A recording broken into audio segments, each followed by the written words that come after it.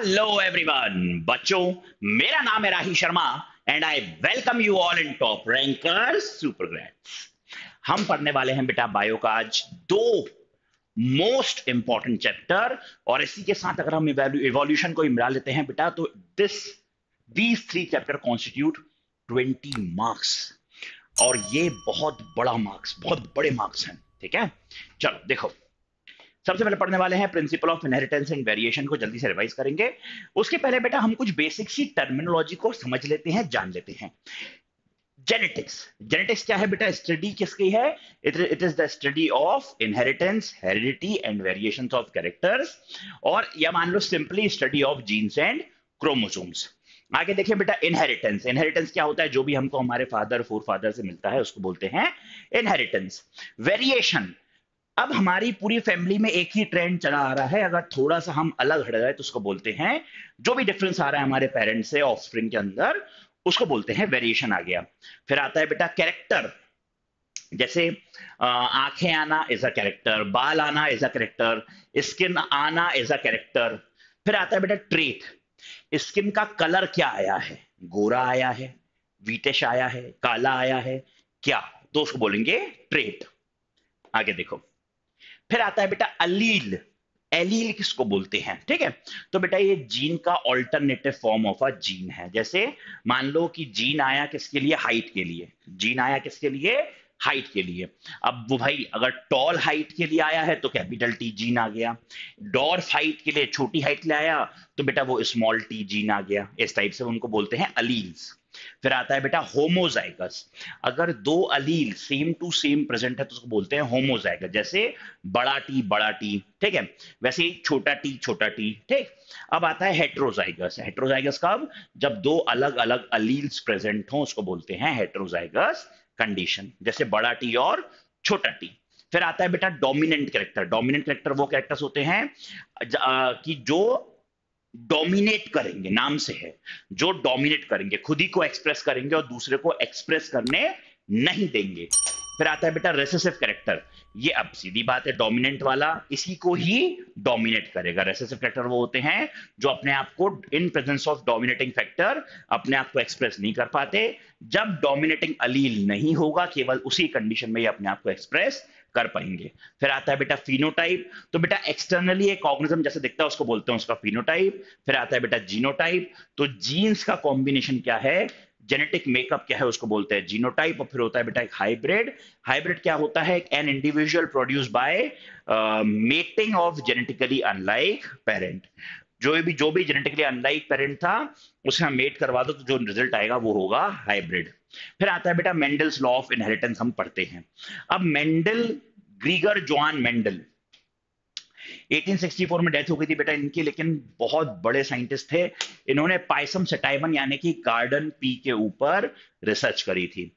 अब garden pea को use करने के लिए इनके पास बहुत सारे तरीके थे। बहुत सारे आ, वो थे क्या बोलते हैं मेरिट्स क्या पहला मेरिट क्या? मटर को हम साल में दो तीन बार उगा सकते हैं। फिर मटर गार्डन पी में, मटर में क्या अलग अलग विजिबल कैरेक्टर्स दिखते थे हमको। ठीक इजीली इसको क्रॉस किया जा सकता था। तो ऐसे बहुत सारे थे। तो उन्होंने गार्डन पी के किन सेवन कैरेक्टर्स को कंसिडर करा तो हमारे सामने है बेटा। इस टाइम की हाइट देखी तो जो टॉल और डॉर्फ मिला, टॉल डोमिनेटिंग हाइट थी। ठीक है? फिर फ्लावर की पोजीशन एक्जियल और टर्मिनल। एक्जियल जो थी, वो डोमिनेटिंग थी और टर्मिनल रेसेसिव थी। फिर आया बेटा फ्लावर का कलर, वायलेट फ्लावर डोमिनेट थे, व्हाइट फ्लावर पर। फिर आया बेटा पॉड शेप, पॉड मतलब मटर का छिलका जो कैसा रहता है। तो इन्फ्लेटेड वाला डोमिनेंट था और कॉन्स्ट्रक्टेड वाला रेसेसिव था। फिर आया बेटा पॉड का कलर तो ग्रीन वाला डोमिनेटिंग था और येलो वाला रेसेसिव था। फिर आया सीड का शेप राउंड वाला डोमिनेटिंग था और रिंकल वाला। रेसेसिव था, फिर आया सीड का कलर तो बेटा येलो वाला डोमिनेटिंग था और ग्रीन वाला रेसेसिव था। आगे अगर हम बात करें बेटा तो अब हम पढ़ते हैं उन्होंने मोनो हाइब्रिड क्रॉस करवाया साहब। तो मोनो हाइब्रिड क्रॉस से उनको क्या क्या चीज़ें पता लगी? तो बेटा सबसे पहले एफ़ वन जनरेशन में उनको सारे टॉल प्लांट मिल गए। यहाँ पे हमने टॉल और डॉर्फ को क्या करवाया था? होमोजाइगस टॉल और डॉर्फ को क्रॉस करवाया था। मतलब बड़ा टी बड़ा टी को। लिख भी देते हैं इसको। यहाँ हमने बड़ा टी बड़ा टी को छोटा टी छोटा टी के साथ क्रॉस करवाया। यहाँ राउंड येलो है तो बड़ा बड़ा बड़ा वाई बड़ा वाई को छोटा छोटा छोटा वाई छोटा वाई के साथ में क्रॉस करवाया था, ठीक है? यहाँ इनको क्रॉस करवाया, यहाँ इनको क्रॉस करवाया। तो यहाँ पर सारे टॉल मिल गए एफ़ में, यहाँ पे सारे राउंड येलो मिल गए। क्यों? क्योंकि डोमिनेटिंग करेक्टर ने अपने आप को एक्सप्रेस करा और एस वालों को एक्सप्रेस होने नहीं दिया। वहीं अगर हम एफ़ टू जनरेशन की बात करें तो यहाँ पर एक हमको होमोजाइगोटिक टॉल मिला, दो हेट्रोजाइगोटिक टॉल मिले और एक होमोजाइगस डॉर्फ मिला। वहाँ देखे बेटा तो वहाँ पे हमको राउंड येलो भी मिले राउंड ग्रीन भी मिले रिंकल येलो मिले और रिंकल ग्रीन भी मिले। फिनोटाइप की बात करें एफ़ टू जनरेशन की तो यहाँ पर थ्री टू वन था और यहाँ पर था बेटा nine to three to three to one वहीं अगर हम बात करें बेटा जीनोटाइपिक रेशियो की तो यहाँ पर F one general mono hybrid cost में आया था one to two to one और बेटा डाई हाइब्रिड कॉस्ट में था वन इस टू टू टू वन इस टू टू टू फोर इस टू टू टू वन इस टू टू टू वन ठीक है ये रहा आगे देखिए अब हम पढ़ते हैं बैक क्रॉस क्या होता है और टेस्ट क्रॉस क्या होता है ठीक है बैक क्रॉस क्या होता है और टेस्ट क्रॉस क्या होता है? देखो तो बेटा बैक क्रॉस क्या है? Cross between a hybrid and its any of the parent जो हाइब्रिड बना है एफ़ वन जनरेशन में, उसको किसी भी पेरेंट से आप क्रॉस कर दो तो उसको बोलते हैं बैक क्रॉस टेस्ट क्रॉस में क्या होता है? ये क्रॉसिंग है ऑर्गेनिज्म की किसके साथ में? With dominant phenotype to or recessive individual जब आप रेसेसिव इंडिविजुअल से क्रॉस करोगे तो हम बोलेंगे उसको टेस्ट क्रॉस ठीक है? और मोनो हाइब्रिड टेस्ट क्रॉस में रेशियो हमेशा वन इज़ टू वन ही आएगा। अब टेस्ट क्रॉस को क्यों यूज़ करते हैं? तो बेटा अननोन जीनोटाइप को पता करने के लिए हम टेस्ट क्रॉस को यूज़ करते हैं। आगे देखिए। अब आता है बेटा मेंडल्स के कुछ लॉज उसने जो भी मोनोहाइब्रिड क्रॉस करे डाई हाइब्रिड क्रॉस करे, इस बेसिस पर कुछ लॉज बने। एक्चुअली बेटा मेंडल्स ने तुम लोग बड़ी हैरानी होगी, पर मेंडल्स ने आज तक अपने जीवन में कोई भी लॉ दिया ही नहीं। अरे सर, हमने पढ़े हैं तीन लॉ जो आपने यहाँ लिखे हुए हैं। Mendel's law of dominance Mendel's law of segregation Mendel's law of purity of gamete भी बोलते हैं इसको। Mendel's law of independent assortment ये तो हमने पढ़ा है। बेटा एक्चुअली मेंडल ने कोई भी लॉ नहीं दिए थे। हुआ क्या था? 1864 में मेंडल तो मर गया था। 1900 में तीन अलग अलग साइंटिस्ट अलग अलग जगह अपने काम कर रहे थे और अलग अलग चीज़ पे काम कर रहे थे। अब हुआ क्या? वो साइंटिस्ट का नाम है Hugo de Vries Carl Correns Carl Correns Hugo de Vries और वॉन शेरमेक ठीक है? जब ये तीनों ने रिसर्च करना शुरू करी तो कुछ टाइम बाद इनको ये पता लगा, बेटा, ये उसी कंक्लूजन पे पहुँच गए जो 36 पहले 36 साल पहले मेंडल बोल के मर गया था कि ऐसा ऐसा होगा, ठीक है? तो ये वापस किस कंक्लूजन पे पहुँचे? उसी कंक्लूजन पे पहुँचे। अब जब ऐसी बारी आई तो भैया ये लोग थोड़े से शौक हो गए। कि यार हम लोग कितने पीछे थे मेंडल से, है ना? तो उन्होंने मेंडल को ऑनर देते हुए उन्हीं के नाम पर ये सारे लॉज बनाए। तो बेटा मेंडल्स लॉ ऑफ़ डोमिनेंस बोलता है क्या? कि अगर डोमिनेटिंग फैक्टर आएगा डोमिनेटिंग अलील रहेगा तो रेसिस वाले को वो एक्सप्रेस होने नहीं देगा। फिर लॉ ऑफ़ सेग्रीगेशन या जिसको हम बोलते हैं law of purity of gamete जो सेकेंड लॉ है मेंडल का, वो क्या बोलता है बेटा? देखो, जैसे मान लो law of purity of gametes है ना? कि भाई जैसे मान लो मोनोहाइब्रिड क्रॉस हुआ, ठीक है? तो टॉल होमोजाइगस टॉल को हमने होमोजाइगस डॉट से मिलाया तो बड़ा टी बड़ा टी ने गैमिट दिया केवल बड़ा टी छोटा टी छोटा टी ने गैमिट दिया केवल छोटा टी जब इनको मिला दिया तो क्या बना हमारे पास में? बड़ा टी और छोटा टी बना। ये हेट्रोजाइगस टॉल बना। तो बेटा, ये जो टॉल डोमिनेटिंग वाला अलील है, वो छोटे टी पर यानी कि डॉर्फ वाले अलील पर कुछ भी असर नहीं डालता है। ऐसा नहीं होगा कि कुछ टाइम के लिए भाई एफ़ वन जनरेशन में अगर डॉर्फ वाला डोमिनेटिंग फैक्टर के साथ रहा है तो बेटा क्या होगा कि वो भी डोमिनेटिंग बन जाएगा। ऐसा कभी नहीं होगा। ठीक है? यही कारण है कि जब एफ़ टू जनरेशन आएगी तो आपको होमोजाइगस में वापस से एक डॉर्फ मिल जाएगा। मतलब एफ़ वन जनरेशन में गैमीट्स हमेशा प्योर रहते हैं। फिर आता है इंडिपेंडेंट असॉर्टमेंट ये बेटा थर्ड लॉ है ट्राई हाइब्रिड बेसिस या डाई हाइब्रिड बेसिस के केसेस है। इन बेसिस बनाया गया है। ये बोलता है इंडिपेंडेंट असॉर्टमेंट समझो। जब राउंड येलो को रिंकल्ड ग्रीन के साथ में हमने क्रॉस करवाया था तो हमको राउंड ग्रीन भी मिला था। यानी कि सीड का शेप और सीड का कलर ये दो अलग अलग कैरेक्टर्स थे, ठीक है? तो बेटा सीड का शेप और सीड का कलर इंडिपेंडेंटली असॉल्ट होते हैं। ऐसा नहीं है कि अगर राउंड येलो था तो हमेशा राउंड के साथ येलो ही आएगा, या रिंकल्ड ग्रीन था तो हमेशा उसके साथ रिंकल्ड ग्रीन ही आएगा। रिंकल्ड येलो भी बन सकता है राउंड ग्रीन भी बन सकता है। आगे बढ़ रहे हैं बच्चों, ध्यान दीजिए। अब बेटा नॉन मैंडेलियन इनहेरिटेंस पढ़ लेते हैं। पहला है इनकम्प्लीट डोमिनेंस फिर हम पढ़ेंगे को डोमिनेंस फिर हम पढ़ेंगे बेटा मल्टीपल एलिज्म फिर हम पढ़ेंगे बेटा पॉलीजेनिक इनहेरिटेंस और आएगा बेटा प्लियो प्लियोट्रॉपी सबसे पहले पढ़ते हैं बेटा हम लोग इनकम्प्लीट डोमिनेंस के बारे में। तो बेटा मिराबिलस जलापा ठीक है, जिसको फोर ओ क्लॉक बोलते हैं और स्नैप ड्रैगन एंटीराइनम जिसको हम डॉग फ्लावर भी बोलते हैं, ये उसका एग्ज़ाम्पल है। इसमें करेंगे करेंगे क्या? रेड कलर के फ्लावर को जब आप क्रॉस करवाओगे व्हाइट कलर के फ्लावर से तो आपको एफ़ वन जनरेशन मिलेगा पिंक कलर के फ्लावर इसमें ना रेड ने डोमिनेट करा, ना व्हाइट ने डोमिनेट करा। तो इनकम्प्लीट डोमिनेंस के कारण तो बीच का कुछ निकल के सामने आ गया, उसको बोल रहे हैं क्या? पिंक फ्लावर आया एफ़ वन जनरेशन में। लेकिन वहीं जब आप एफ़ टू जनरेशन पे जाओगे तो आपको एक होमोजाइगस मिल जाएगा रेड दो मिल जाएँगे वापस से हेट्रोजाइगस वाले पिंक और एक मिल जाएगा होमोजाइगस वाला व्हाइट तो इसमें one is to two two is to रहेगा इसका जीनो जीनोटिपिक रेशियो और फिनोटिपिक रेशियो भी यही रहेगा. तो बेटा इनकम्प्लीट डोमिनेंस में हमेशा ध्यान रखना बेटा फिनोटिपिक रेशियो और जीनोटिपिक रेशियो हमेशा सेम रहता है. ये देखो one is to two is to one one is to two is to one आगे देखिए, अब आता है बेटा कोडोमिनेंस बेटा इसका बहुत बड़ा एग्ज़ाम्पल है हमारा एबीओ ब्लड ग्रुप अब एक बात समझो, तुम लोग पता है? जैसे मेरा blood group A B positive है, तुम्हारा ब्लड ग्रुप किसी का बी होगा, किसी का ए होगा, किसी का ओ होगा, ये कैसे आते हैं ब्लड ग्रुप होता क्या है बेटा? जो हमारी आरबीसी की प्लाज्मा मेम्ब्रेन होती है, वो कुछ ना कुछ टाइप की शुगर निकालती है। अगर मान लो जिसका ब्लड ग्रुप ए है अच्छा कौन कौन से जीन्स हैं जो इस, इसको गवर्न करते हैं तो I gene is responsible for producing sugar कौन सा जीन रिस्पॉन्सिबल है? आई जीन कौन सा जीन रिस्पॉन्सिबल है? आई जीन ठीक है? कौन सा जीन रिस्पॉन्सिबल है बेटा? आई जीन अब मान लो अगर किसी का ब्लड ग्रुप ए है तो बेटा वो हो सकता है आई ए या आई ये हेट्रोजाइगोटिक कंडीशन हो गई, या होमोजाइगस हो सकता है आई ए और आई ए अगर किसी का बी है तो सिमिलरली हो सकता है आई बी और छोटा आई या हो सकता है बेटा आई बी और आई बी अगर बेटा किसी का ब्लड ग्रुप ए बी है तो उसके पास में दोनों रहेंगे आई ए और आई बी और किसी का ब्लड ग्रुप ओ है तो उसके पास रहेगा आई अब एक बात समझो। ए वाला क्या रहेगा? मैं क्या बोल रहा हूँ? हमारे आरबीसी की प्लाज्मा मेम्ब्रेन कुछ टाइप की शुगर प्रोड्यूस करती है। तो बेटा एक होती है ए शुगर एक होती है बी शुगर और एक होती है नो शुगर अगर किसी की आरबीसी की प्लाज्मा मेम्ब्रेन कोई भी शुगर को सिक्रीट नहीं कर रही होगी तो हम बोलेंगे उसका ब्लड ग्रुप क्या है? ओ है। अगर दोनों टाइप की शुगर कर रही होगी तो बोलेंगे ए बी है, जो मेरा है। अगर केवल एक टाइप की बी टाइप की कर रही होगी तो बोलेंगे बी ब्लड ग्रुप है। और ए टाइप की कर रही होगी तो बोलेंगे उसका ए ब्लड ग्रुप है। ठीक है, ये कोडोमिनेंस का आपका एग्ज़ाम्पल है। मल्टीपल एलिज्म का एग्ज़ाम्पल क्या है बेटा? मल्टीपल एलिज्म का एग्ज़ाम्पल भी यहाँ पर आप किसको दे सकते हो?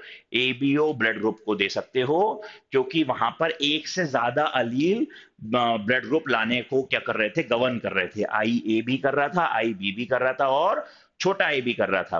फिर आता है बेटा पॉलीजेनिक इनहेरिटेंस सबसे बड़ा एग्ज़ाम्पल है पॉलीजेनिक इनहेरिटेंस का, हमारा ह्यूमंस का कलर आना, इसमें क्या होता है, एक से ज़्यादा जीन्स देखो मल्टीपल एलिज्म में इसमें क्या हो रहा था बेटा? मल्टीपल एलिज्म में एक से ज़्यादा जीन केवल एक करेक्टर को, नहीं मतलब एक वहाँ मतलब इसमें हो क्या रहा था कि भाई in the presence of more than two allele of a gene to govern same character ठीक है? एक से ज़्यादा अलील अलील्स आ रहे थे एक कैरेक्टर के लिए। लेकिन इस केस में क्या होगा? इस केस में क्या होगा? It is the inheritance in which some traits are controlled by several genes वहाँ पर एक जीन अलग अलग करेक्टर दिखा रहा था। यहाँ पर सेवरल जीन मिलकर केवल एक करेक्टर दिखा रहे हैं। इस टाइप से कुछ समझो, ठीक है? उल्टा है, ठीक? अब, कैसे समझो बेटा? तो हमारे में क्या होता है? कुछ ऐसे जीन्स होते हैं स्किन के लिए। एक होता है ए कैपिटल ए कौन कौन से होते हैं? Capital A capital B capital C ठीक है? तो जिनके अंदर बड़ा ए बड़ा ए, बड़ा भी बड़ा सी रहेगा, उनका डार्केस्ट स्किन कलर रहेगा। जिनके में छोटा ए, छोटा भी छोटा सी रहेगा, वो सारे अल्बिनो रहेंगे, ठीक है? और बेटा, इनका अगर कुछ भी कॉम्बिनेशन में है तो इंटरमीडिएट रहेगा। मान लो ए ए, बी बी, सी सी तो ये इंटरमीडिएट आ जाएगा। जैसे मान लो, जितने छोटे वाले कैरेक्टर हैं, उतना ज़्यादा तुम आप मान के चलो कि आपका कलर फेयर रहेगा। ठीक? आगे बढ़ रहे हैं बच्चों ध्यान दीजिए फिर आता है प्लियोट्रॉपी। प्लियोट्रॉपी में क्या होता है? Here a single gene exhibit multiple phenotypic expression such a gene is called pleiotropic gene in most of the cases mechanism of pleiotropy is affected is effect of a gene on a metabolic pathway which contribute towards the different phenotype जैसे बेटा starch synthesis in pea और phenylketonuria और sickle cell anaemia ठीक है? इसमें क्या होता है फिनाइल कीटोन यूरिया में? म्यूटेंट जीन जो होता है, वो प्रियोट्रॉपिक इफ़ेक्ट दिखाता है। और बेटा, वो सारे बच्चे जिनको फिनाइल कीटोन्यूरिया होता है, वो mental retardation reduction in hair और स्किन पिगमेंट से जूझते हैं। फिर आता है बेटा क्रोमोसोमल थ्योरी ऑफ़ इनहेरिटेंस ये सटन और बोवेरी ने दी थी, वॉल्टर सटन और थियोडोर बोवेरी ने, ठीक है? ये क्या बोलते हैं? They said that the pairing and separation of a pair of chromosomes lead to the segregation of pair of vector they carried. Certain united chromosomal segregation with Mendelian principle and call it as chromosomal theory of inheritance. Certain बोवेन देखा बेटा जब chromosomes की study करी तो उन्होंने देखा कि यार जो वहाँ पर एक सिंगल जीन कर रहा था यहाँ पर वो काम कौन कर रहे हैं पूरे क्रोमोसोम्स कर रहे हैं ठीक अब क्रोमोसोमल थ्योरी ऑफ़ इनहेरिटेंस से क्या क्या बोला उन्होंने बोले? जैसे वो बोला था कि हेरिडिटी कैरेक्टर क्या है? फैक्टर है। अच्छा जीन वर्ड कभी भी मेंडल ने यूज़ नहीं करा, उसने फैक्टर बोला। इसलिए मैं हमेशा फैक्टर फैक्टर बोलता आया। जीन तो अब इंट्रोड्यूस हुआ है। तो साहब, सबसे पहले क्या हुआ? क्रोमोसोमल थ्योरी ऑफ़ इनहेरिटेंस में पहला क्या बोला? सेटन बोवेरी ने, वो बोलते हैं, क्रोमोसोम्स हैं, वही हैं व्हीकल्स ऑफ़ हेरिडिटी फिर बोलते हैं, बेटा two identical chromosome form homologous pairs बनाएँगे. फिर बोलते हैं, यही होमोलोगस पेयर जो होते हैं, वो सेग्रीगेट हो जाते हैं गैमीट फॉर्मेशन में, और बेटा इंडिपेंडेंट पेयर्स जो हैं, वो सेग्रीगेट होंगे इंडिपेंडेंटली जस्ट लाइक जो मेंडल्स ने कहा था, वही सेम इन्होंने भी बोल दिया। अब आता है बेटा क्रोमोजोमल थ्योरी ऑफ़ इनहेरिटेंस में सबसे बड़ा नाम मॉर्गन। कौन आता है? मॉर्गन। मॉर्गन ने बेटा ड्रोसोफिला मिलेनोगेस्टर ड्रोसोफिला मिलेनोगेस्टर के ऊपर उसने रिसर्च करना शुरू करी। उसने क्या बोला? ध्यान दो। अब उसने, सबसे पहली बात तो आप बोलोगे, सर ड्रोसोफिला मिलेनोगेस्टर जिसको फ्रूट फ्लाई बोलते हैं 12-15 दिन ज़िंदा रहती है, उसी को क्यों चूज़ करा इसने? तो उसका रीजन है, ध्यान दो। They can grow on simple synthetic medium पहला, फिर बेटा शॉर्ट जनरेशन है तो बार बार उनकी नई नई स्पीशीज आती रहेगी तो हम वेरिएशन देख पाएँगे जल्दी जल्दी ब्रीडिंग उनकी पूरे साल भर होती है, ये सीजनल ब्रीडर्स नहीं है। फिर बेटा हंड्रेड्स ऑफ़ प्रोजेनी स्पर्मेटिंग अगर एक सेक्सुअल इंटरकोर्स होगा इनके बीच में तो कई हज़ारों से सौ, हज़ारों तादार में इनके पास में क्या निकल आएँगे? बच्चे निकल आएँगे। मेल एंड फीमेल फ्लाइज को आप इजीली डिस्टिंग्विश कर सकते हो। मेल जो होता है, वो स्मॉलर होता है फीमेल से। और बेटा it has many types of inherited variation that can be seen under microscope अब लिंकेज और रिकॉम्बिनेशन होते क्या है, वो समझा रहा हूँ, उसकी एप्लीकेशन भी समझाऊँगा। लिंकेज क्या है? ये फ़िज़िकल एसोसिएशन है, दो और उससे ज़्यादा जीन्स का एक क्रोमोजोम पर। लिंक्ड जीन जो है, वो कभी भी इंडिपेंडेंटली असॉल्ट नहीं कर पाएँगे। वहीं रिकॉम्बिनेशन में क्या होगा? Recombination is the generation of non parental gene combination recombination occur होता है ड्यू टू इंडिपेंडेंट असॉर्टमेंट और क्रॉसिंग ओवर अब बेटा, ये एक फिगर है जो आपको एनसीआरटी में मिलेगा और आप कहोगे हाँ सर हमें बहुत कंफ्यूजिंग लगता है। जबकि ये बिल्कुल भी कंफ्यूजिंग नहीं है। ध्यान दो बेटा। यहाँ पे क्रॉस ए दिया हुआ है और क्रॉस बी दिया हुआ है, ठीक है? यहाँ पर बेटा येलो और व्हाइट है। तो आप देखो तो वाई और डब्लू येलो और व्हाइट के जीन्स बहुत पास पास हैं। लेकिन वही मैं देखूँ यहाँ पे व्हाइट और मिनिएचर की बात करूँ तो बेटा जो व्हाइट है और मिनिएचर है, इनके जीन्स बहुत दूर दूर हैं क्रोमोजोम्स पर। इससे क्या फ़र्क पड़ेगा ये ध्यान देना। क्रॉस ओ में क्रॉस ए में जीन्स आर क्लोजर जीन्स क्या है? जीन्स आर क्लोजर जो जीन्स हैं वो पास में हैं, ठीक है? यहाँ पर genes are farther genes are farther दूर दूर हैं बेटा। अब पास आने से और दूर आने से क्या फ़र्क पड़ेगा? अभी बता रहा हूँ, ध्यान दो। देखो, अब बेटा पेरेंट्स तो ये होगा, जब एफ़ वन जनरेशन होगी तो जितने प्रोबेबिलिटी सकती है सब बना लेना। हो सकता है ये वाला एक बार इससे मिल जाए तो ये बना ले। हो सकता है एक बार ये वाला इससे मिल जाए ब्लू वाले से तो ये बना ले। ठीक है? अब बेटा बात क्या होगी? जब F2 जनरेशन होगी, इन दोनों को आपस में क्रॉस करोगे तो ध्यान दो, अगर यही वाला इससे मिल जाएगा तो बेटा हमारे पास में क्या आ जाएगा? F2 जनरेशन में एक ये आ जाएगा। ठीक? अब ये भी तो हो सकता है, ये भी तो हो सकता है कि ये वाला उठ के इसके साथ मिल ले। ठीक है, ये वाला उठ के इसके साथ मिल ले। तो बेटा क्या आ जाएगा आपके पास में? ये वाली चीज़ आ जाएगी। ठीक, ये हो गया आपके दो। अब आगे देखिए, हो सकता है अब ये ब्लू वाला जाकर इसके साथ मिल ले। ठीक है तो आपको क्या मिल जाएगा? ये मिल जाएगा। और बेटा एक प्रोबेबिलिटी ये भी बनती है कि हो सकता है यही ब्लू वाला इसके साथ मिल ले तो ये बन जाएगा। ठीक, अब ये तो नॉर्मल हो गया। अब बात क्या है? अब इनमें ये ये बन गया नॉर्मली अब इनमें रिकॉम्बिनेंट्स की प्रोबेबिलिटी कितनी बन सकती है? तो वो बता रहा हूँ। बेटा, बात क्या होती है? जो जीन्स बहुत पास पास होते हैं, उनमें रिकॉम्बिनेशन बहुत कम देखा जाता है। उनमें रिकॉम्बिनेशन लेस देखा जाता है, कम देखा जाता है रिकॉम्बिनेशन बहुत कम होता है। तो बेटा, देखो ये भी हो सकता था कि एक बार वो यहाँ से कटे, यहाँ से कट जाए और वो ए, और नीचे वाला भी यहाँ से कट जाए। देखो इस तरीके से, ये कुछ इस तरीके से कट जाए। ठीक? तो इसका इसका ये वाला पार्ट इसका ये वाला पार्ट जाकर दूसरे वाले के, इस वाले पार्ट को यहाँ से हटा दो और ये वाला पार्ट पूरा ले लो। ये वाला पार्ट पूरा ले लो। तो कम ब्लू वाला ज़्यादा येलो वाला भी बना सकता है। कम ब्लू वाला ज़्यादा येलो वाला बना लेगा और इसी के साथ बना लेगा। एक ये भी तो हो सकता था कि ये ज़्यादा ब्लू वाला कम येलो वाले के साथ बना लेता तो एक ये बन गया। तो यहाँ देखोगे तो बेटा आपको साफ़ पता लग रहा है, जो पेरेंटल टाइप है वो 98.7 परसेंट बन रहे हैं, लेकिन जो रिकॉम्बिनेंट है वो केवल 1.3 परसेंट बन रहे हैं। सिमिलरली जहाँ पर जीन्स बहुत दूर दूर से क्रोमोजोम्स पर, वहाँ पर रिकॉम्बिनेशन अच्छा खासा होता है। वहाँ पर रिकॉम्बिनेशन जो है वो अच्छा खासा होता है। 37.2 परसेंट जो है रिकॉम्बिनेंट बन जाएँगे। आगे देखिए। अब हम पढ़ते हैं बेटा सेक्स डिटर्मिनेशन के बारे में। सेक्स डिटर्मिनेशन बेटा सबसे पहले तो हम लोग पढ़ लेते हैं हमारे बारे में, ठीक है? एक्स एक्स और एक्स वाई के बारे में हम पढ़ लेते हैं। ठीक है? देखो चलो। देखो चलो। बता रहा हूँ, एक मिनट ध्यान दीजिएगा।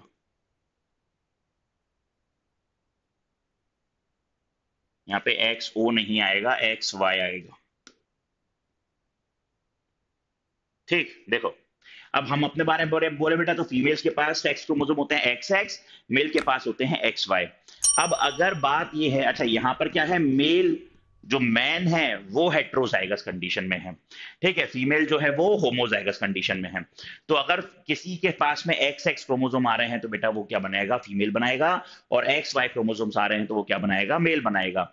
वहीं अगर हम बात करें बेटा ग्रास ऑपर जो इंसेक्ट्स होते हैं, उनमें जो सेक्स डिटर्मिनेशन होता है, वो एक्स एक्स और एक्सो सिस्टम के बेसिस पर होता है। इसी प्रोसेस को बोलते हैं बेटा पार्थिनोजेनेसिस एक्स ओ का मतलब ये है कि यहाँ पर एग जो है वो फर्टिलाइज नहीं होगा स्पर्म से।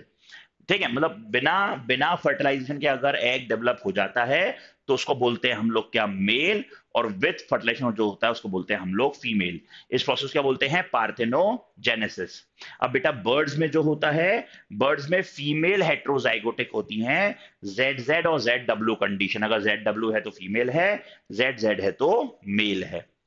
अब इसके बाद आता है बेटा हमारा मोस्ट इंपॉर्टेंट टॉपिक म्यूटेशन होता क्या है बेटा? अगर हम एक न्यूक्लियोटाइड को चेंज कर दें, या डिलीट कर दें, या ऐड कर दें, या डुप्लीकेट कर दें, या ऐसा कुछ भी करेंगे तो बेटा पूरा फ्रेम ही शिफ्ट हो जाता है। अब मान लो कि हम एक न्यूक्लियोटाइड को रिप्लेस कर रहे हैं किसी किसी से। तो बेटा ये कितने टाइप के म्यूटेशन हो सकते हैं? पहला है बेटा साइलेंट म्यूटेशन। साइलेंट म्यूटेशन क्या होता है? जैसे बेटा क्या आपका? जैसे बेटा क्या आपका? मान लो, जैसे कि हमारे पास में है, हमारे पास में क्या है? टी टी टी अच्छा नो म्यूटेशन का केस ये रहा। ये रहा नो म्यूटेशन ये रहा स्टैंडर्ड इसको क्या मान लो? ये रहा स्टैंडर्ड कंडीशन ये रही हमारी standard condition T T C ठीक है? अब इसका ये रहा डीएनए का, ये रहा डीएनए का, ये रहा एमआरएनए और ये रहे उसके अमाइनो एसिड ठीक तो बेटा डीएनए टीटीसी है तो एमआरएनए क्या बनेगा? ए ए जी ठीक है, वो किसके लिए कोड करता है? वो कोड करता है लाइसिन के लिए। कौन? टीटीसी अब मान लो एस सी की जगह मैंने क्या डाल दिया? टी डाल दिया। तो यहाँ पर टी टी टी है तो क्या बनाएगा? ए ए ए यहाँ पर ये भी किसके लिए कोड करता है? लाइसिन के लिए। तो जो अमाइनो एसिड पहले आ रहा था, अगर वही बाद में आ जाए तो उसको बोलेंगे हम। ये साइलेंट म्यूटेशन है। अब मान लो इस टी की जगह, इस वाले टी की जगह मैंने डाल दिया क्या? ए तो ए टी सी हो गया। तो वो एमआरएनए क्या बनाएगा? यूएजी और यूएजी क्या होता है बेटा? स्टॉप कोडॉन तो ये हो जाएगा नॉनसेंस म्यूटेशन कहते हैं। और मिस सेंस में क्या होता है बेटा? मिस सेंस में क्या होता है? जैसे टीटीसी था तो इस वाले टी की जगह तुम सी डाल दो तो बेटा वो बना लेगा अर्जिनीन ठीक है? या मान लो इस वाले टी की जगह आपने डाल दिया गलती से क्या? जी तो बेटा वो बना लेगा थ्रियोनिन अच्छा इसको कंजर्वेटिव और नॉन कंजर्वेटिव जो कहा गया है, वो बता रहा हूँ। कंजर्वेटिव उनको बोलते हैं, टी एक क्या था? टी आपका एक पिरामिडीन था। उसकी जगह एक और पिरामिडीन ले आओगे तो बोलेंगे कंजर्वेटिव नॉन कंजर्वेटिव बोलेंगे जो आपका पिरामिडीन था, उसकी जगह आपने एक प्यूरिन डाल दिया। ठीक। आगे बढ़ते हैं बेटा ध्यान दीजिए। म्यूटाजिन्स म्यूटाजिन्स वो होते हैं बेटा जो म्यूटेशन कॉज करते हैं, जो म्यूटेशन करेंगे, उनको बोलते हैं म्यूटाजेंस दो टाइप के होते हैं फ़िज़िकल म्यूटाजन ये यहाँ पे बेटा यूवी रेडिएशन हो गया अल्फ़ा बीटा गामा रेस जो हमारे रेडियो एक्टिव फ्यूल से निकलते हैं यूरेनियम से या बॉम्ब ब्लास्ट में इसमें जो निकलते हैं न्यूक्लियर वेपन से। केमिकल म्यूटाजन से आपके मस्टर्ड गैस हो गया बेटा फिनॉल हो गया फॉर्मेलिन हो गया। फॉर्मेलिन मतलब वो जिसमें आपके बायोलॉजिकल स्पीशीज रखे जाते हैं आपकी लैब्स में। तो जब आप बहुत टाइम तक उस पर एक्सपोज रहते हो, तब भी आपको म्यूटेशन हो सकता है। एसिटिक एसिड हो गया फॉर्मिक एसिड हो गया और अमोनिया हो गया। आगे बात करते हैं बेटा पेडिग्री एनालिसिस की बात करेंगे। तो इसके सिंबल्स बता देता हूँ क्वेश्चंस तो हम लोग कर ही रहे हैं। मेल को स्क्वायर से फीमेल को स्क्वायर से। सेक्स अगर अनस्पेसिफाइड है तो बेटा इस तरह से टिल्ट करके अफेक्टेड इंडिविजुअल को हम लोग कलर भर देते हैं। मेटिंग में क्या करते हैं हम लोग बेटा? एक बीच में डैश लगा तो बोलते हैं मेटिंग अगर मेटिंग रिलेटिव के बीच में है तो बेटा डबल डैश लगा देना। पेरेंट्स हमेशा ऊपर रहते हैं बच्चे हमेशा नीचे रहते हैं। पेरेंट्स का बच्चा अगर अफेक्टेड है तो उस, उसको कलर कर देना और अगर फाइव ऑफ़ स्प्रिंग अनअफेक्टेड आई है तो इस तरीके से रिप्रेजेंटेशन किया जाता है। आगे बढ़ रहे हैं बेटा हम पढ़ते हैं जेनेटिक डिसऑर्डर्स के बारे में। जेनेटिक डिसऑर्डर्स क्या होते हैं? These are disorders due to change in genes और क्रोमोजोम्स तो बेटा दो टाइप में डिवाइड कर रहे हैं मेंडेलियन डिसऑर्डर्स और दूसरा है क्रोमोजोमल डिसऑर्डर्स ठीक है मेंडेलियन डिसऑर्डर्स की बात करें तो हम पढ़ेंगे बेटा हीमोफीलिया पढ़ेंगे सिकल सेल एनीमिया पढ़ेंगे कलर ब्लाइंडनेस पढ़ेंगे फिनाइल कीटोन्यूरिया पढ़ेंगे थैलेसीमिया पढ़ेंगे सिस्टिक फाइब्रोसिस के बारे में भी पढ़ेंगे। ये सारे पूछ लिए जाते हैं। क्रोमोजोमल डिसऑर्डर पढ़ेंगे डाउन सिंड्रोम टर्नर सिंड्रोम और क्लैनीफेल्टर सिंड्रोम सबसे पहले पढ़ते हैं बेटा हम लोग किसके बारे में, आपके मेंडेलियन डिसऑर्डर्स के बारे में थोड़ा सा जानने की कोशिश करते हैं। ठीक तो देखो the disorder caused बाय देखो देखो बेटा the disorders caused by alteration और mutation in the single gene अगर एक ही जीन में आ रहा है तो उसको बोलेंगे बेटा, ये सारे मेंटलिन डिसऑर्डर है। जैसे एग्जांपल हम पढ़ चुके हैं hemophilia colour blindness sickle cell anemia phenylketonuria thalassemia और cystic fibrosis the pattern of inheritance of Mendelian disorder can be traced in a family by pedigree analysis. हम लोग मेंडलियन डिसऑर्डर बेटा पेडिग्री एनालिसिस के through पता कर सकते हैं। पहला आ गया हीमोफीलिया इसको क्या बोल रहे हैं? रॉयल डिज़ीज़ बोल रहे हैं। क्यों बोल रहे हैं रॉयल डिज़ीज़ क्योंकि बेटा जो इंग्लैंड है इंग्लैंड की जो क्वीन थी, अब तो मर गई वो क्वीन विक्टोरिया है ना? उसकी फैमिली में था, ठीक है? अब बेटा ये क्या है? हीमोफीलिया एक सेक्स लिंक्ड रेसेसिव डिज़ीज़ है। इसमें क्या होता है? Protein involve in blood clotting जो है, जो ब्लड क्लॉट करता है, वो प्रोटीन ही अफेक्ट हो जाता है। अगर एक छोटा सा कट भी लगेगा तो नॉन स्टॉप ब्लीडिंग होना शुरू हो जाएगी, आदमी मर जाएगा बिकॉज़ ऑफ़ क्या बोलते हैं डेफिशिएंसी ऑफ़ हीमोग्लोबिन अब इसको बेटा अलील है कैपिटल एच और स्मॉल एच वो कंट्रोल करते हैं। कैपिटल एच जो है वो नॉर्मल के लिए है, छोटा एच जो है वो रिस्पॉन्सिबल है किसके लिए? हीमोफीलिया के लिए।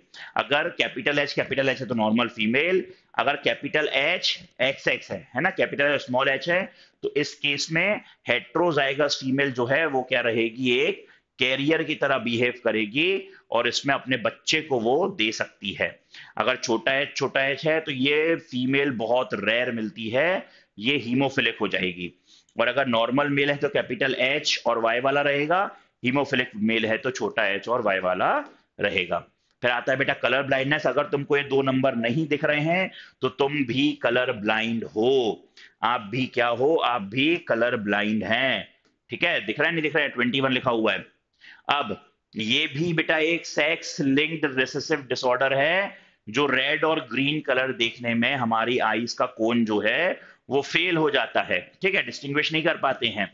अब क्यों it is due to mutation in some gene in X chromosome ये केवल 8 परसेंट ऑफ़ मेल्स में और 0.4 परसेंट ऑफ़ फीमेल्स में पाया जाता है। ठीक है? This is due to genes are X linked अब आता है बेटा कलर ब्लाइंडनेस में। नॉर्मल अलील जो है वो डोमिनेटिंग सी रहेगा। अगर बड़ा सी आ रहा है तो डोमिनेटिंग है और वो नॉर्मल कंडीशन है। अगर छोटा सी आएगा तभी क्या रहेगा? कलर ब्लाइंड रहेगा। इसी हिसाब से हम कर सकते हैं, अगर बड़ा सी और छोटा सी है वुमेन को एक्स एक्स में तो बेटा ये वुमेन जो होगी वो करियर होगी। और बेटा मेल्स में अगर छोटा सी और वाई है तो वो मेल क्या है? इफेक्टेड है। आगे देखिए, फिर आता है बेटा सिकल सेल एनीमिया के बारे में पढ़ रहे हैं। ये एक autosomal linked autosome linked recessive trait है। अब ये कैसे ट्रांसमिट होता है? It can be transmitted from parent to the offspring when both the parents are carrier जब दोनों पेरेंट कैरियर होंगे तभी सिकल सेल एनीमिया हो पाएगा और ये डिज़ीज़ जो है वो बेटा एच बी ए और एच बी एस अलील्स है वो कंट्रोल करते हैं एच बी ए नॉर्मल है H B S sickle trait के लिए है तो बेटा अगर होमोजाइगस डोमिनेंट आया क्या H B A H B A तो वो तो नॉर्मल हो जाएगा अगर आया बेटा heterozygous H B H B S तो वो कैरियर हो जाएगा और अगर किसी को बेटा आ गया क्या H B S H B S तो वो अफेक्टेड इंडिविजुअल हो जाएगा सिकल सेल एनीमिया वालों में बेटा ब्लॉकेज ज़्यादा हो जाते हैं हार्ट अटैक के चांसेस बढ़ जाते हैं। हाँ और बात करूँ बेटा तो oxygen carrying capacity are in, इनकी आरबीसीसी कम हो जाती है पर एक फ़ायदा है सिकल सेल एनीमिया वालों को कभी भी मलेरिया नहीं हो सकता। आगे देखिए ये सब बता दिया मैंने और कैसे होगा बेटा? सिक्स पोजीशन पे अगर आपके पास में ग्लूटामिक एसिड की जगह गलती से अगर वेलिन आ जाएगा तो सिकल सेल एनीमिया बंद हो जाएगा आपको, ठीक है? फिनाइल कीटोन्यूरिया की बात करें बेटा तो होता क्या है? ये इनबॉर्न एरर है मेटाबॉलिज्म का ऑटोजोमल रेसेसिव ट्रेट है। कैसे होगा? Due to mutation in the gene जो कोड करता है एक एंजाइम के लिए, वो एंजाइम है फिनाइल एलेनिन हाइड्रोक्सिलेज ये एंजाइम का काम क्या है बेटा? ये एंजाइम कन्वर्ट करता है फिनाइल एलेनिन को टायरोसिन में। अब जब फिनाइल एलेनिन हाइड्रो हाइड्रोक्सिलेज नहीं है तो उस केस में क्या होगा बेटा? जो फिनाइल एलेनिन था, वो बॉडी में इकट्ठा हो जाएगा और अल्टीमेटली कन्वर्ट हो जाएगा फिनाइल पायरोविक एसिड में। और बेटा, हमारा डिजीज्ड बच्चा पैदा हो जाएगा। आगे देखिए। अब आता है बेटा थैलेसीमिया थैलेसीमिया भी बेटा एक autosomal linked recessive blood disease है। इसमें कैसे ट्रांसमिट होता है? अनअफेक्टेड कैरियर से जो पेरेंट्स रहेंगे ऑफस्प्रिंग को हो सकता है। ये it is due to mutation और डिलीशन के कारण होता है।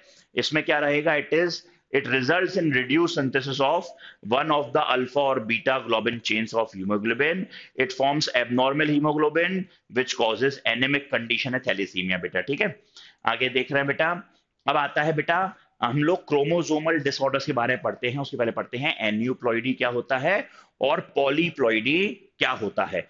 अगर मैं बात करूँ बेटा एन्यूप्लॉइडी की तो बेटा ये गेन है या लॉस ऑफ़ क्रोमोजोम है? ये क्या है? गेन और लॉस ऑफ़ क्रोमोजोम्स गेन और लॉस ऑफ़ क्रोमोजोम्स क्यों? Due to segregation of chromo chromatid during cell division ठीक है? अब बेटा नॉर्मली हमारी कंडीशन क्या होती है? डिप्लॉइड होती है हम लोग। आप में डिप्लॉयड हैं अभी। लेकिन हमारे जो आ, वो रहेंगे गैमीट्स रहेंगे वो सारे हैप्लॉइड हो जाते हैं। ठीक है? ये हम कल पढ़ चुके हैं बेटा। किसमें? ह्यूमन रिप्रोडक्शन में पूरी चीज़ें हम पढ़ चुके हैं। अब बेटा एन्यूप्लॉइड में एक होता है नलीसोमी नलीसोमी में टू एन माइनस टू मतलब फोर्टी सिक्स में से दो कम कर दो। एक होता है मोनोसोमी इसमें टू एन माइनस वन एक क्रोमोजोम कम। एक होता है double monosomy condition two N minus one और माइनस वन एक एक अलग अलग क्रोमोजोम को अलग कर देना आप। एक होता है trisomy two N plus one तो ट्रिपलेट्स हो जाएगा, एक क्रोमोजोम की एक्स्ट्रा कॉपी आ जाएगी। एक होता है टेट्रासोमी तो किसी क्रोमोजोम की दो एक्स्ट्रा कॉपी हो जाएँगी। एक होता है डबल टेट्रासोमी, इसमें क्या होता है दो दो अलग अलग क्रोमोजोम की चार चार कॉपीज हो जाएँगी। फिर पढ़ते हैं बेटा, यूप्लो, पॉलीप्लॉइडी जिसको यूप्लॉइडी बोलते हैं। It is an increase in whole set of chromosome due to failure of cytokinesis after telophase of cell division ये बहुत रेयर है, पर देखा किसमें जाता है बेटा? प्लांट्स में भी देखा जा सकता है। यानी कि बेटा मान के चलो, अगर हमारे 46 क्रोमोजोम है तो किसी के अंदर कितने आ जाएँगे? 92 क्रोमोजोम्स हो जाएँगे। ठीक है? इसको बोलते हैं पॉलीप्लॉइडी लेकिन इंसानों में देखा नहीं जाता। डाउन सिंड्रोम बेटा, इसको मंगोलिज्म भी बोलते हैं, क्योंकि मंगोल कि जैसे लोग जो होते हैं वैसे बच्चे दिखने लगते हैं। इसमें होता क्या है बेटा? ट्राइसोमी है 21 क्रोमोजोम की। 21 क्रोमोजोम की एक एक्स्ट्रा कॉपी हो जाती है, ठीक है? अब इसमें क्या क्या होगा बेटा फीचर्स बच्चे के? Short statured with round head रहेगा ब्रॉड फ्लैट फेस रहेगा फरोड बिग टंग रहेगी पार्शली ओपन माउथ रहेगा पाम ब्रॉड रहेगा, और उसके पाम में ना कुछ इस तरीके से रहेगा और वो पाम ऐसे ही बंद होगा। जैसे हम लोगों की ये जो रेखाएँ दिखती है ना, ये रेखाएँ नहीं दिखेंगी। उसका कुछ ऐसा सही रहेगा बस। ऐसी रेखा दिखेगी, ठीक है? अब आगे देखो बेटा। Many loops on finger tips retarded physical और साइकोमोटर और मेंटल डेवलपमेंट और बेटा साथ में कॉन्जेनाइटल हार्ट डिज़ीज़ भी रहेगी। बच्चा ज़्यादा ज़िंदा नहीं रह पाएगा। फिर अगर हम बात करें क्लैनीफेल्टर सिंड्रोम तो बेटा इसमें एक एक्स क्रोमोजोम की एक्स्ट्रा कॉपी हो जाती है। तो बेटा आप देख रहे हो ब्रेस्ट डेवलपमेंट हो जाएगा एक एक्स क्रोमोजोम आने से। इसमें फीचर्स क्या रहेंगे? ओवरऑल मैस्कुलिन डेवलपमेंट तो रहेगा, लेकिन बेटा फेमिनाइन डेवलपमेंट भी साथ में हो जाएगा। मतलब ब्रेस्ट डेवलपमेंट उसको बोलते हैं गायनेकोमेस्टिया कंडीशन ठीक है स्टेराइल रहेगा और मेंटली रिटार्डेड कंडीशन भी रहेगी। फिर आता है बेटा टर्नर सिंड्रोम ये है बेटा एक्सओ कंडीशन इसमें। एक एक्स क्रोमोसोम कम ही हो जाता है। तो फीमेल तो बनी, लेकिन पूरी फीमेल ठीक से नहीं बन पाई। स्टेराइल रहेगा, ओवरीज जो है वो रूडिमेंट्री रहेंगी। Lack of secondary sexual character breast development ठीक से नहीं होगा। डॉर्फ होगी, छोटी हाइट की होगी, और मेंटली ये भी रिटार्डेड होगी। अगर हम आगे देखें बेटा, अब आ जाता है मॉलिकुलर बेसिस ऑफ़ इनहेरिटेंस अभी तक अगर आप देख रहे होगे तो ऊपर लिखा हुआ था principle of inheritance and variation अब हम स्विच कर चुके हैं मॉलिकुलर बेसिस ऑफ़ इनहेरिटेंस बेटा, हमने principle of inheritance and variation पूरा कंप्लीट करा है 35 36 मिनट्स में. ठीक? तो हम लोग अभी क्विक रिवीजन कर रहे हैं ताकि हम इसके क्वेश्चन और अच्छे से लगा पाए। अब बेटा डीएनए सबसे पहले डीएनए के बारे में बोलते हैं। की फीचर्स क्या है डीएनए का? डबल स्टैंडर्ड हेलिक्स है यूनिफॉर्म डायमीटर रहता है क्लॉकवाइज डायरेक्शन में रहता है। थोड़े बड़े हो जाओगे तो तुम पढ़ोगे लेफ़्ट हैंड वाला डीएनए भी रहता है, पर अभी के लिए क्लॉकवाइज एंटी पैरेलल स्ट्रैंड रहते हैं ऑपोजिटली रन करते हैं, ठीक है? Other edges of nitrogen bases मतलब माइनर ग्रुप रहेगा मेजर ग्रुप रहेगा, इस तरीके से डीएनए दिखता है। एक एक एक माइनर से दूसरे माइनर के बीच में एक टर्न में 3.4 नैनोमीटर का डिस्टेंस रहता है और दो बेस पेयर्स के बीच में बेटा 0.34 नैनोमीटर का डिस्टेंस रहता है। ठीक है? मतलब एक में कितने आ सकते हैं? एक टर्न में टोटल 10 बेस पेयर्स आ सकते हैं। आगे अगर हम बात करें बेटा तो हम लोग फ्रांसिस क्रिक ने क्या दिया था? सेंट्रल डोगमा हमको दिया था। वो पढ़ते हैं बस, एक सेकंड रुको।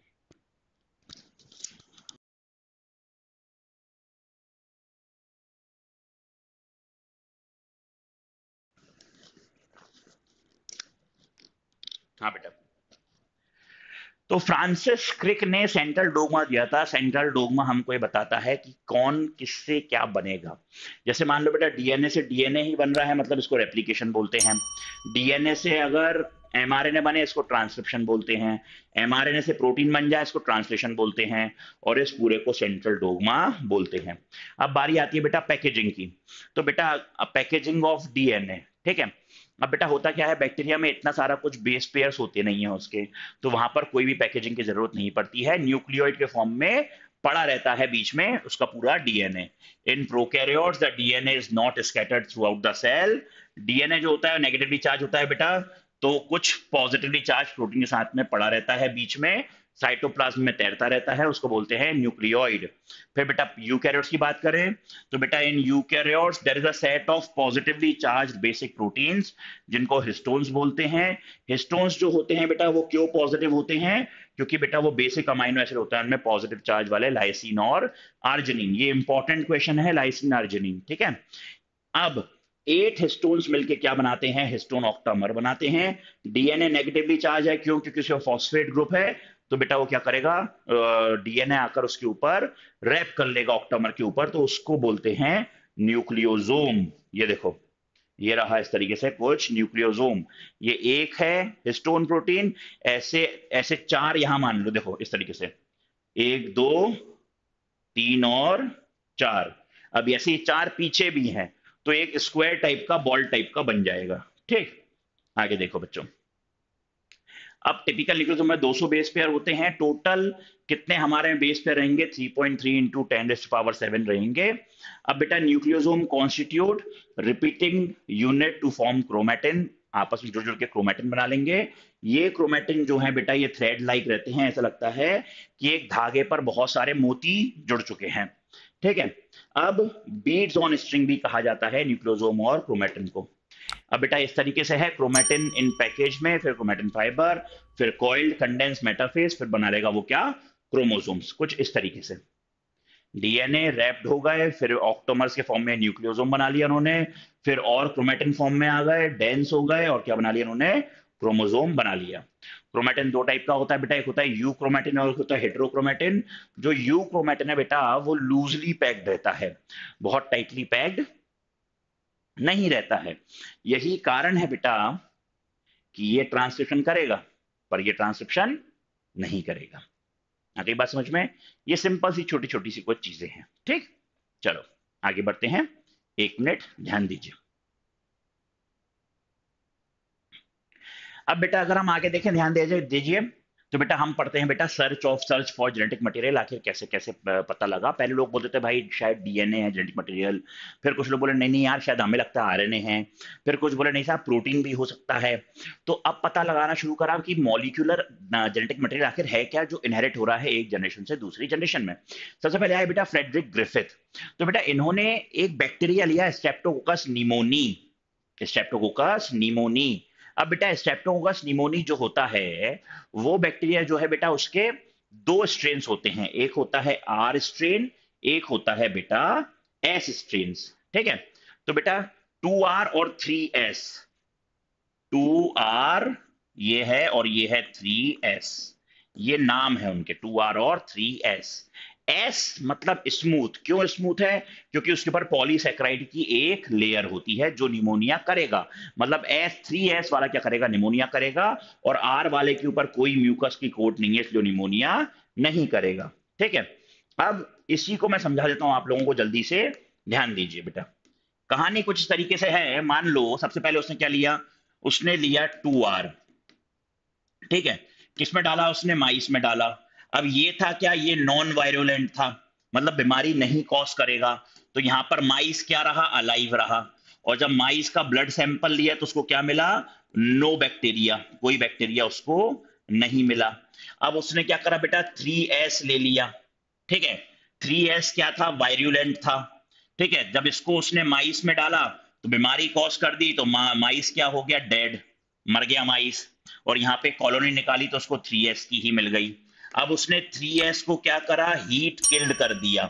हीट करके उसने किल्ड कर दिया। हीट किल्ड इसको डाला जब उसने माइस में तो उसने क्या देखा? माइस अभी भी अलाइव था। और यहाँ पर भी कोई भी कॉलोनी नहीं मिली। यहाँ पर भी नो बैक्टीरिया अब उसने सोचा, यार, क्यों ना मैं एक काम करूँ? टू आर से भी वो अलाइव था, नहीं मर रहा था। थ्री एस हीट किल से भी अलाइव था, वो नहीं मर रहा था। क्यों ना मैं इन दोनों को उठाकर मिलाकर साथ में मिला दूँ? मतलब उसने क्या लिया? टू आर लिया और थ्री एस हीट किल्ड लिया। क्या लिया बेटा? टू आर लिया और थ्री एस हीट किल्ड लिया। अब उसने जब उस, इसमें उठाकर माइस में डाला तो उसने देखा माइस तो मर गया। अब भाई इंडिविजुअल डाल रहे थे तो माइस ज़िंदा था, लेकिन भाई जब साथ में मिलाया तो ऐसा क्या हुआ कि माइस मर गया? तो बेटा हुआ क्या? टू आर ने थ्री एस के पास में क्या था? थ्री एस के पास में था प्लाज्मिड थ्री एस के पास में क्या था? प्लाज्मिड इसने टू आर ने वो प्लाज्मिड ले लिया और अपने ऊपर क्या कर ली? पॉलीसेक्राइड की एक लेयर बना ली। इसको बोलते हैं ट्रांसफॉर्म कर लिया अपने आप को। इसलिए ग्रिफिथ ट्रांसफॉर्मिंग एक्सपेरिमेंट बोलते हैं और यहाँ पर बैक्टीरिया कौन सा मिला? थ्री एस और वो थ्री एस बना कैसे? ये टू आर कन्वर्ट हो गया किसमें?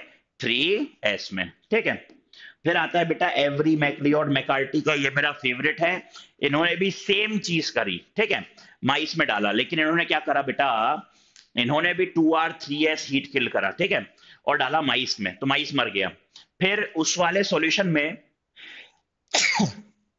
यहाँ पर वो टू आर और three S three S kill heat kill था। थ्री एस हीट किल्ड वाले में उन्होंने डाला सबसे तो सबसे पहले क्या? प्रोटीएज मतलब प्रोटीन को डाइजेस्ट कर दिया, सारा प्रोटीन हट गया। अब जब डाला माइस के अंदर, माइस अभी भी मर गया मतलब प्रोटीन जेनेटिक मटेरियल नहीं था। फिर उसी में डाला उन्होंने आरएनए मतलब आरएनए भी पूरा डिस्ट्रॉय कर दिया। फिर डाला माइस मतलब माइस फिर से मर गया। मतलब आरएनए भी जेनेटिक मटेरियल नहीं था। और लास्ट जब उन्होंने डाला डीएनए जब डीएनए ही डिस्ट्रॉय कर दिया तो जो माइस था वो अलाइव रहा। इससे ये पता लग गया बेटा कि DNA is the genetic material फिर बेटा हार्शे एंड चेज आ गए हमारे हार्शे एंड चेज का एक्सपेरिमेंट इन्होंने भी क्या करा था? आ, कुछ डीएनए को उन्होंने रेडियो लेबल कर दिया किसके? फॉस्फोरस 32 से। डीएनए को लेबल किससे करा? फॉस्फोरस 32 से। ठीक है यहाँ पर प्रोटीन को लेबल किससे करा? प्रोटीन को लेबल करा सल्फ़र 35 से। तो बेटा अल्टीमेटली उन्होंने देखा कि बैक्टीरियोफेज को लेबल कर दिया था, ठीक है? अल्टीमेटली देखा, यहाँ पर जो बैक्टीरियोफेज नए आए नए आए बैक्टीरियोफेज उनके अंदर रेडियो लेबल्ड नहीं था। लेकिन यहाँ जो नए, यहाँ जो नए बैक्टीरियोफेज आए, उनके अंदर रेडियो लेबल्ड था। ठीक है? आगे देखिए। फिर आता है बेटा मेसेल्सन स्टॉल एक्सपेरिमेंट ये क्या बताता है? हमको ये बताता है कि डीएनए जो है वो सेमी कंजर्वेटिव मॉडल है मतलब डीएनए का एक स्ट्रैंड पुराना रहेगा, एक स्ट्रैंड नया रहेगा। तो बेटा उसने ग्रो करवाया ई कोलाई को किसमें एन फिफ्टीन वाले मीडियम में, ठीक है? तो एन फिफ्टीन वाले में ग्रो करवाया तो हैवी नाइट्रोजन आ गया किसमें डीएनए में। जब उसने एक बार रेप्लीकेट करवाया तो उसने देखा कि एक स्ट्रैंड तो पुराना था और एक स्ट्रैंड येलो वाला नया आ गया एन फोर्टीन का। वैसे यहाँ, फिर वापस बीस मिनट में दो बैक्टीरिया दो से चार हो गए तो उसने देखा भाई, ये जो येलो वाला था, उसने पूरा एक नया बना लिया, जो एक पुराना वाला था, उसने येलो के साथ मिलके एक और बना लिया। वापस से एक येलो वाले ने पूरा नया बना लिया और रेड वाले ने इस तरह से बना लिया। तो उसने क्या देखा? हमेशा एक स्ट्रैंड जो है वो पुराना रहेगा और एक स्ट्रैंड नया बनता है। रेप्लीकेशन की बात करें बेटा तो रेप्लीकेशन करता कौन है? रेप्लीकेशन करता है आपका DNA polymerase enzyme DNA polymerase enzyme करता है। तो इसकी ज़रूरत है डीआर रेप्लीकेशन में। फिर अब बात यह है, बेटा, हमारा जो डीएनए होता है, हमारा जो डीएनए होता है, वो तो बेटा क्या है आपका डबल हेलिकल है। तो इन हेलिक्स को खोलने के लिए जो एंजाइम आता है, उस एंजाइम का नाम है क्या? हेलिकेज एंजाइम हेलिकेज क्या करेगा? अनवाइंड करेगा। अनवाइंड करेगा। मान लो यहाँ पर आके लग गया क्या? यहाँ पर आके लग गया आपका हेलिकेज। ठीक? अब डीएनए पॉलीमरेज जो है ना, मैं इसको वापस लिख देता हूँ। सबसे पहले कौन आएगा? हेलीकेज आएगा। सबसे पहले कौन आएगा? हेलीकेज आएगा और डीएनए को क्या करेगा वो? अनवाइंड करेगा। अनवाइंड करेगा, ठीक है? फिर आएगा बेटा डीएनए पॉलीमरेज डीएनए पॉलीमरेज अब हमारा डीएनए पॉलीमरेज जो है, वो थोड़ा सा नखरेलू है, थोड़ा सा नखरे दिखाता है। क्या नखरे दिखाता है? वो डीएनए को रीड करता है डीएनए को रीड करता है थ्री प्राइम से फाइव प्राइम के डायरेक्शन में। और डीएनए को सिंथेसाइज करता है डीएनए को सिंथेसाइज करता है फाइव प्राइम से थ्री प्राइम के डायरेक्शन में। ठीक है? रीड कहाँ से करेगा? थ्री प्राइम से फाइव प्राइम ये पहला मतलब ये थ्री प्राइम से फाइव प्राइम जा रहा है तो इसको तो वो रीड कर लेगा। ये हमारा डीएनए पॉलीमरेज, ये हमारा डीएनए पॉलीमरेज, इसको तो रीड कर लेगा, लेकिन इसको वो रीड ही नहीं करेगा क्योंकि फाइव प्राइम से थ्री प्राइम है। नखरा दिखाया, मैं नहीं करूँगा। गुस्सा हो गया। ठीक है? अब साहब, एक नखरा ये ही नहीं, अभी और भी नखरे हैं इसके। एक नखरा है डीएनए को, डीएनए सिंथेसिस तो करेगा। डीएनए सिंथेसिस तो करेगा बट require some probe.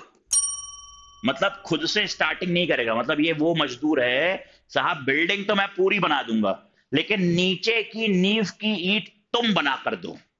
ठीक है? तो उसके लिए क्या होता है? आरएनए आ जाता है। क्या आता है? छोटा सा आरएनए का टुकड़ा आकर यहाँ पर जुड़ जाता है।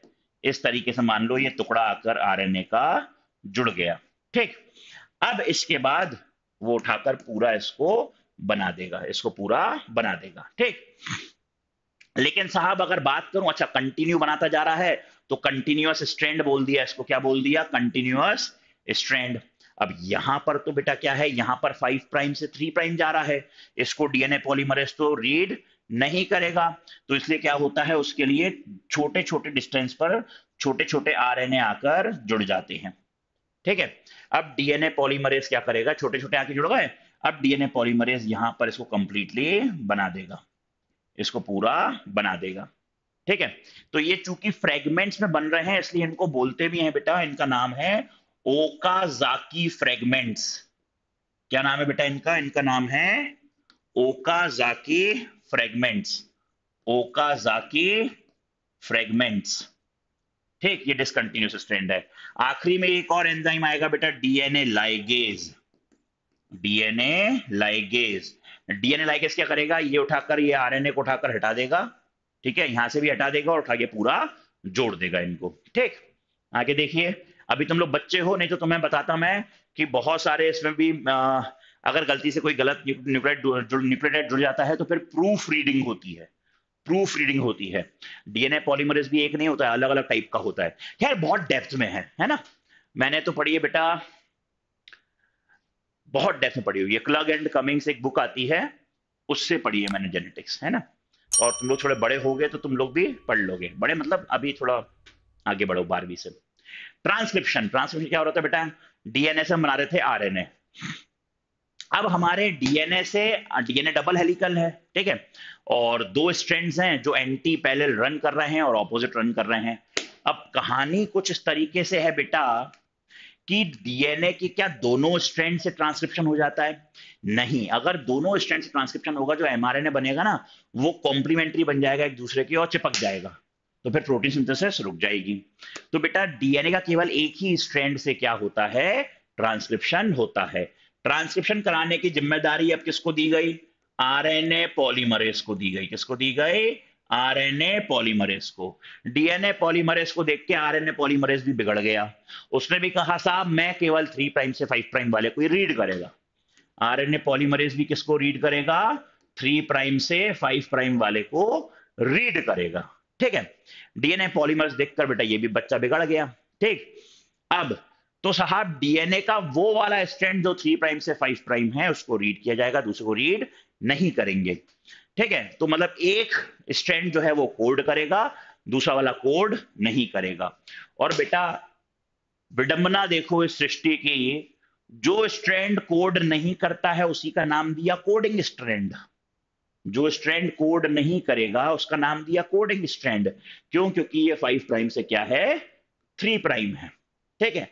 और जो कोड करता है, उसका नाम दिया हमने क्या? टेम्पलेट स्ट्रैंड आ गई बात समझ में?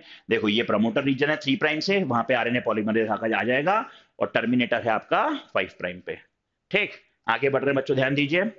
Process of transcription in bacteria अब पता है, होता क्या है बेटा? बैक्टीरिया मैंने क्या बताया था न्यूक्लियोइड के फॉर्म में डीएनए रहता है, क्योंकि ट्रू न्यूक्लियस ट्रू छोड़ो न्यूक्लियस ही नहीं है उसके पास में. तो कई बार क्या होता है बैक्टीरिया में ट्रांसक्रिप्शन खत्म होता नहीं है ट्रांसलेशन भी शुरू हो जाता है, ठीक है? क्या होगा बेटा, यहाँ पर प्रमोटर चाहिए हमको। प्रमोटर सबसे पहले तो आरएनए पॉलीमरेज आ गया। यहाँ जो प्रमोटर रहेगा, वो रहेगा सिग्मा फैक्टर सिग्मा फैक्टर जाकर एक पर्टिकुलर पोजीशन पे आरएनए पॉलीमरेज को जोड़ देगा। अब धीरे से सिग्मा फैक्टर तो अलग हो जाएगा और ये आरएनए पॉलीमरेज मस्त क्या करेगा? ये एमआरएनए बनाना उसने शुरू कर दिया। ये येलो वाला एमआरएनए बनाना उसने शुरू कर दिया। अब जहाँ पर टर्मिनेट करना होगा, वहाँ पर रो फैक्टर आएगा, जुड़ेगा किससे? आरएनए पॉलीमरेज से, और आरएनए पॉलीमरेज को हटा देगा, और बेटा एमआरएनए आपका बन गया। अब लेकिन बात आती है बेटा यू कैरियोट्स में, ठीक है? तो बैक्टीरिया का तो पूरा डीएनए जो है, उस पूरे डीएनए का ट्रांसक्रिप्शन हो जाता है। लेकिन हम यू कैरियोट्स में, हमारे यहाँ बेटा बहुत ज़्यादा बेस पेयर्स हैं और हमारा डीएनए पूरा डीएनए कोड नहीं करता हमारा। तो मैं जान के बड़ी हैरानी होगी कि हमारे शरीर में 95 परसेंट डीएनए तो कोड ही नहीं करता है। हाँ अब तुम सोचोगे, सर 95 परसेंट डीएनए अगर कोड नहीं कर रहा है तो हमारे माँ बाप से हमारे में वो आया ही क्यों? ये तो कबाड़ का डीएनए है, कबाड़ा है। कबाड़े को इंग्लिश में क्या बोलते हैं? जंक इसलिए इस डीएनए का नाम भी दिया गया है, बेटा जंक डीएनए 95 परसेंट डीएनए जो हमारी बॉडी में है, वो जंक डीएनए है, किसी काम का नहीं है। केवल पाँच परसेंट डीएनए तुम्हारे और हमारे काम का है। उसी पाँच परसेंट में सोचो तुम्हारा दिमाग आ गया, बुद्धि बन गई, तुम चलने लगे, सोचने लगे, देखने लगे प्रोटीन सिंथेसिस हो गया, जमाने भर की तुम्हारी जितने फीचर्स तुम्हारी बॉडी में चल रहे हैं, वो सब केवल पाँच परसेंट डीएनए कर रहे हैं। और वो 95 परसेंट डीएनए जो है, वो इवोल्यूशनरी रिकॉर्ड्स दिखाते हैं हमारे। ठीक है? इसलिए इनहेरिट होते जा रहे हैं। तो अगर कभी मान लो कि हम लोग अगर कुछ ऐसा हमारे अंदर डीएनए का पार्ट एक्टिव हो गया जो गिल स्लिट्स बना दे तो हमारे को गिल्स आ जाएँगे और हम पानी में सांस ले पाएँगे। ठीक है? चलो, देखो। तो हमारे में जो डीएनए का वो वाला पार्ट जो हमारा डीएनए कोड नहीं करता है एमआरएनए में कंट्रीब्यूट नहीं करता है, उसको बोलते हैं बेटा इंट्रॉन्स क्या बोलते हैं? इंट्रॉन्स और जो कोड करता है, उसको बोलते हैं एक्सॉन ठीक है? तो बेटा धीरे धीरे क्या होगा? ऐसे अब हमारा डीएनए आरएनए पॉलीमरेज तो पूरा ही बना देगा। ठीक है? इंट्रॉन एक्सॉन इंट्रॉन एक्सॉन अब इन इंट्रॉन्स को हटाना है तो इंट्रॉन्स जैसे लूप बना लेते हैं। ठीक है? तो उसको बोलते हैं इंट्रॉन्स की स्प्लाइसिंग इंट्रॉन्स आरएनए की स्प्लाइसिंग स्प्लाइसिंग के थ्रू अलग हो जाएँगे और ये पूरा एक्सॉन एक्सॉन एक्सॉन आकर जुड़ जाएगा। अब बेटा अभी भी हमारा एमआरएनए नहीं बना इसको बोल रहे हैं प्री एमआरएनए क्यों बोल रहे हैं? क्योंकि हमारे पास में न्यूक्लियस है। अब न्यूक्लियस से जैसे ही ये एमआरएनए गलती से बिना कुछ मेकअप करे बाहर गया तो वहाँ तो लाइसोजाइम घूम रहा है। अब वो केवल साइटोप्लाज्म के एरिया को जानता है न्यूक्लियस वाले को, लोगों को नहीं जानता। तो जैसे ही इसको देखेगा, निपटा देगा, कहेगा, भैया यार, तू क्या कर रहा है चल, मर जाए जाकर। ठीक है? अब इसको बचाना भी है हमको तक, क्योंकि हमको रफ एंडोप्लाज्मिक रेटिकुलम में जाकर इसका क्या करवाना है? प्रोटीन सिंथेसिस करवानी है हमें राइबोसोम्स के हेल्प से। ठीक है? एंडोप्लाज्मिक रेटिकुलम रफ क्यों बोल रहे हैं? क्योंकि कुछ राइबोसोम्स जुड़े रहते हैं उनके ऊपर, वही प्रोटीन सिंथेसिस भी करते हैं। और वो हमेशा उसके पास होते हैं न्यूक्लियस के। तो भैया, अब इसका मेकअप करना है, बचाना था इसको। तो हम क्या करते हैं बचाने के लिए बेटा? थ्री प्राइम पर adenine adenine adenine adenine adenine adenine poly A tail जोड़ देते हैं। और फाइव प्राइम पे बेटा मिथाइल गुआनोसिन ट्राइफॉस्फेट को जोड़ दिया जाता है। अब ये बन गया हमारा perfect M R N and it is ready to go for translation translation पढ़ते हैं, उसके पहले अमाइनो एसिड देख लेते हैं बेटा यूसीएजी यूसीएजी कर लेना और इस तरह से हम बना लेंगे। अब अमाइनो एसिड्स के क्या क्या की सेलियंट फीचर्स हैं की फीचर्स हैं, वो मैं बता देता हूँ। कोडॉन्स जो होते हैं, वो ट्रिपलेट के फॉर्म में है 61 कोडॉन कोड करते हैं थ्री कोडॉन कोड नहीं करेंगे, उनको बोलते हैं बेटा स्टॉप कोडॉन्स ठीक है? कुछ अमाइनो एसिड जो है, वो एक से ज़्यादा कोडॉन से कोड हो जाते हैं, इसलिए कोड जो होते हैं, वो डिजेनरेट होते हैं। Code is read in mRNA in a contiguous fashion there are no punctuation वहाँ पे कोई ऐसा कॉमा फुल स्टॉप नहीं रहता है। कोड जो है बेटा वो यूनिवर्सल है मतलब बैक्टीरिया से लेके ह्यूमन तक। जो यू यू यू है, वो हमेशा कोड करेगा फिनाइल एलेनिन के लिए ही। यहाँ पे कुछ एक्सेप्शन हैं, जो कि माइटोकॉन्ड्रियल कोडॉन्स में रहते हैं प्रोटोजोन्स में, ठीक है? एयूजी है, वो हमेशा स्टार्ट कोडॉन रहेगा।